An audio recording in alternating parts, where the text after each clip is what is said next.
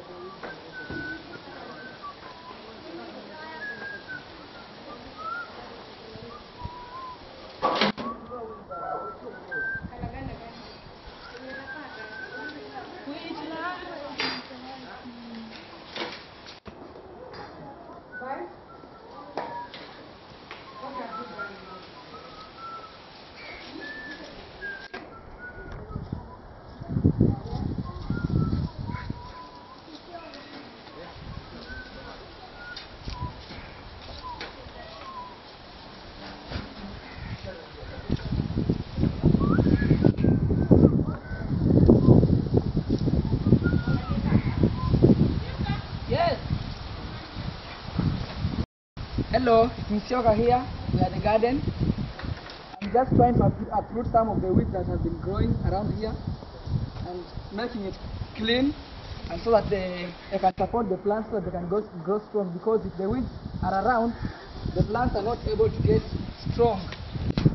And if you uproot all these weeds, you find out that the, the plant is able to get more stronger and the stronger the plant, the plant becomes, the you'll, be able, to ha- harvest lots of things. Thank you.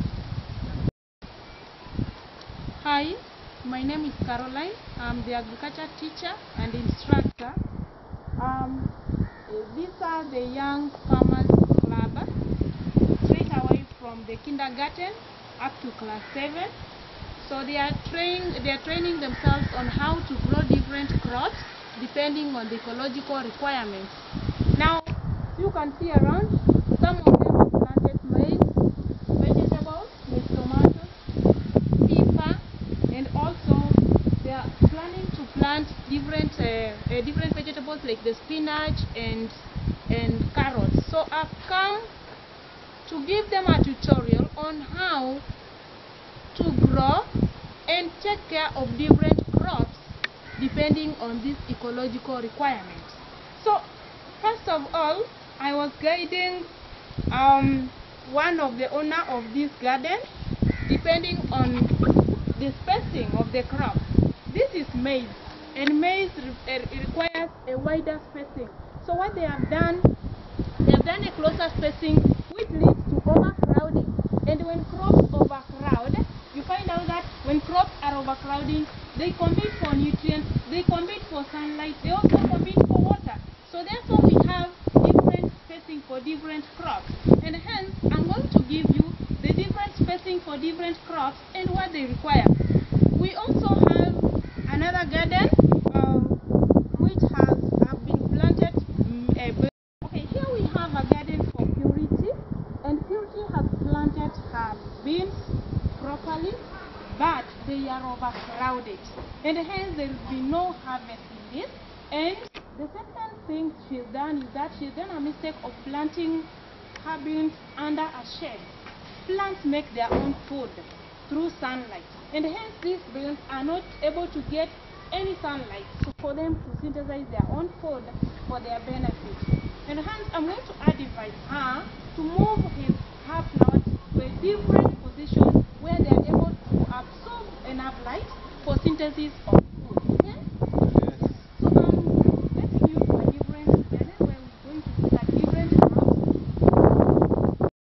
well, this is Brian's plot. Brian planted well. Pla- Brian planted the, uh, the green pepper and also cabbages. But the problem we have, the ecological requirement of this area do not favor cabbages. And hence, once cabbages are planted in this ecological requirement, they don't fall to form the head. Remember cabbages, in cabbages we harvest the head. And hence, the ecological requirements do not favor the cabbages to fold and have the heads, alright? So, we're not going to plant cabbages as from now because the ecological requirement does not favor. Then, what of the people? Of course, Brian did a good job. So I can see the pepper are flowering and they've started fruiting.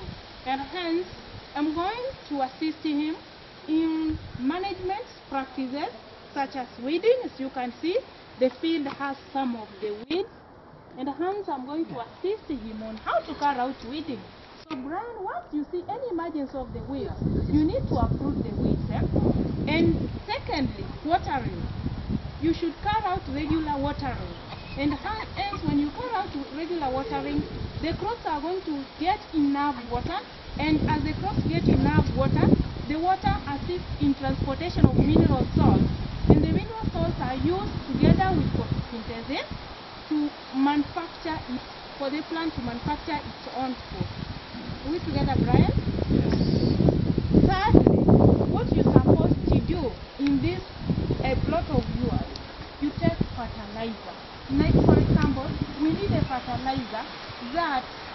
Increases the leaf quantity.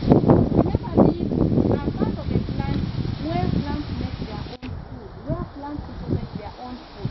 And hence, we need so many leaves in this plant such that it can provide enough food for the plant for it to do what? To grow.